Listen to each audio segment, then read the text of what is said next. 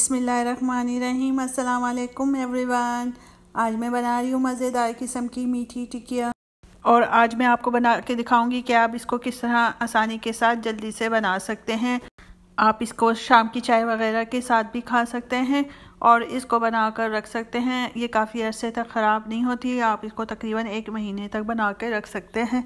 तो चले आइए, हम बनाना शुरू करते हैं अपनी मज़ेदार किस्म की मीठी टिकिया को।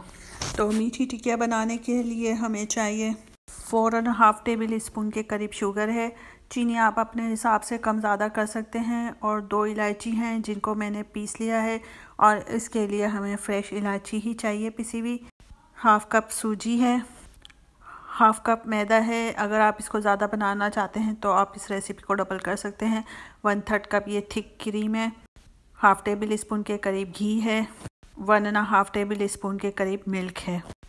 अब मैं मिल्क को मैं सूजी के अंदर डाल दूँगी ताकि सूजी हमारी थोड़ी सी फूल जाए।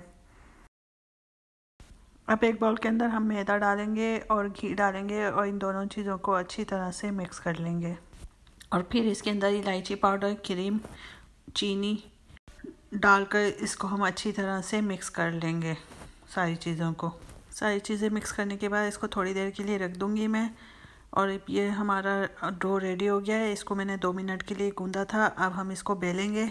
अब इसको मैंने बेल लिया है। हमें इसको बहुत ज़्यादा पतला नहीं बेलना है, बल्कि इसको थोड़ा मोटा ही रखना है।